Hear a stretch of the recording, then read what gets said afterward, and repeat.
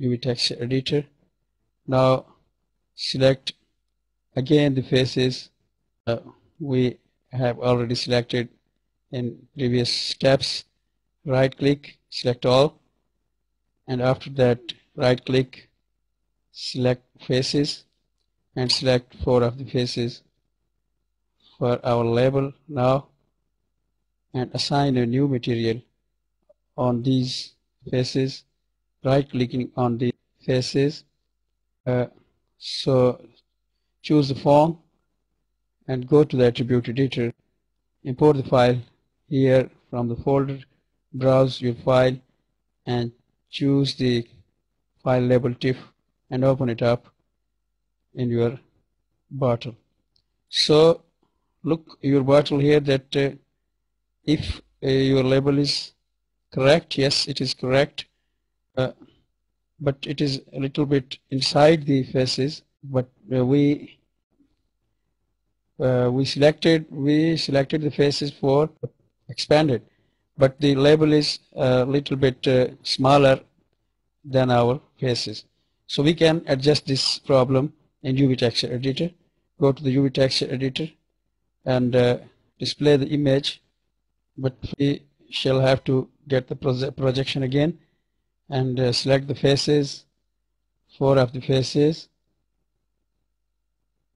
and go to the polygon UVs and planar mapping. In this way we can adjust from here.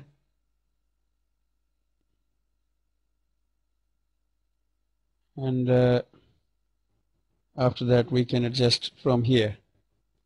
So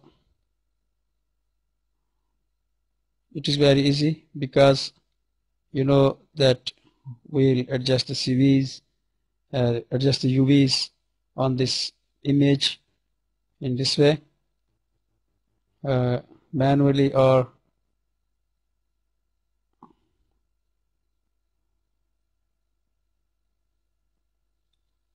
with the other methods.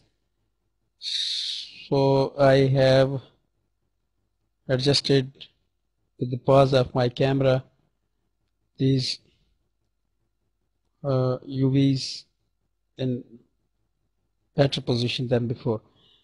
Minimize UV texture editor and now our label is looking like this and it is beautiful but our bottle is not smoother and uh, now we have need to smooth again our bottle to change it uh, again into the subdivide subdivision select it and go to the modify uh, and convert it uh, from subdivide to uh, from polygon to subdivide.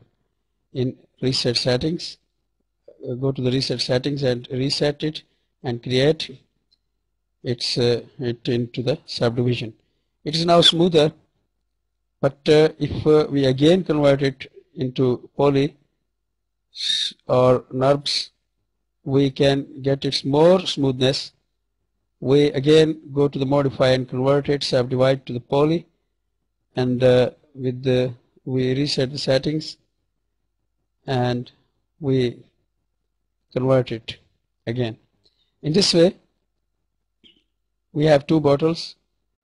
Uh, we need to see here. This is a poly this is poly to subdivide and this is our first NURBS bottle. So we delete these two bottles and now we have a bottle with the transformation. We can change the it's uh, we can fetch it into the origin. Now it looks like that. We can smooth again it uh, from the polygon smooth option. And in this way our bottle is now more smoother. So go to the layer editor and visible your plane ground. In this way increase the size of uh, plane now we need to add the lights in our scene go to the create menu and create light, point light with reset settings. And uh, create a point light and move it up a little bit uh, for, over the head of the bottle, approximately here.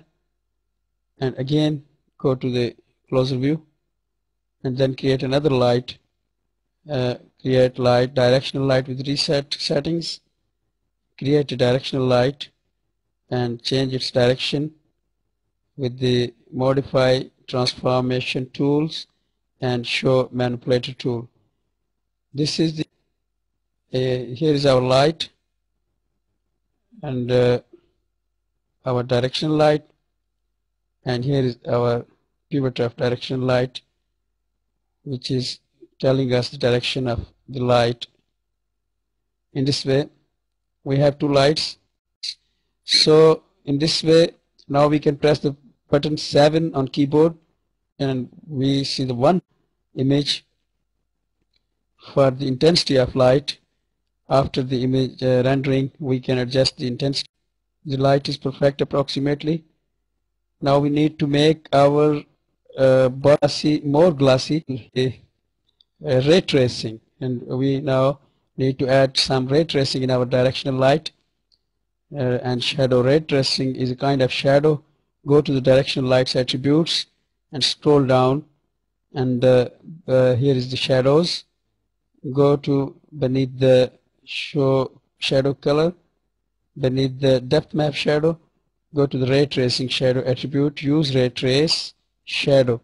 In this way in render setting uh, change the uh, in uh, Maya software tab under the Maya software tab change the quality into the production quality and uh, change the ray trace quality checked from the unchecked position. In this way, ray tracing quality is now checked. Close the global setting of the render and now render the image. Uh, we have a good look of a bottle ray traced image. We have front view and so we are not uh, we can we are not able to see the shadow which is uh, hidden uh, in, in, the back of behind the bottle. If we have another render scene, we can see the shadow of ray tracing.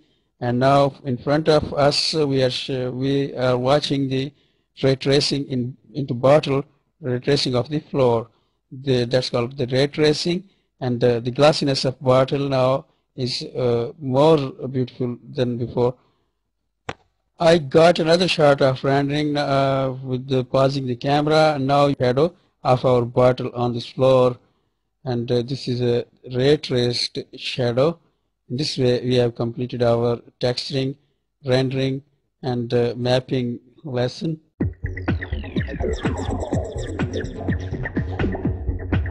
For more tutorials, visit our website. Simply open up google.com and type in search bar free Maya video tutorials. Hit enter. Approach to our website. Click on the link. Make sure that you are on right link. It is free mayavideotutorials.com. You may find free video trainings from here. We offer complete free courses on Maya. Save our website in your favorites and make it like your daily class. If you do that, we guarantee you to be skilled at Maya within a few days.